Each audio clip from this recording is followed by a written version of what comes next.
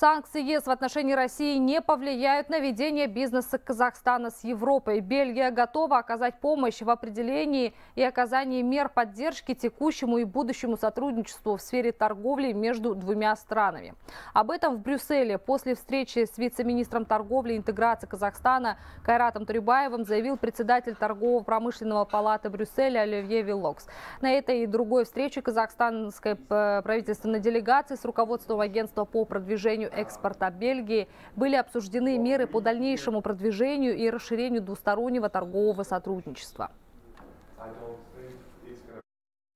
В прошлом году торговля между Казахстаном и Европой э, выросла на 21% и составила 28,9 миллиарда долларов США. Мы отобрали 53 различных товара, которые можем поставлять на европейский рынок э, и на сумму 200 миллионов долларов США ежегодно. Это товары, прежде всего, э, переработка, сельхозпродукция, фармацевтика, машинное оборудование. Наша основная задача – продвигать сюда готовую продукцию. По сырью у нас э, и так все хорошо двигается. В Европейский Союз у нас э, поставляется нефть, э, и проблем с покупкой казахстанской нефти мы не предвидим. В режиме санкций Казахстан не является ни одной из сторон конфликта, поэтому мы исполняем все наши обязательства, будь это регионального характера или международного характера. И наша задача, чтобы торговля продолжала расти такими же темпами с Европейским Союзом. Uh,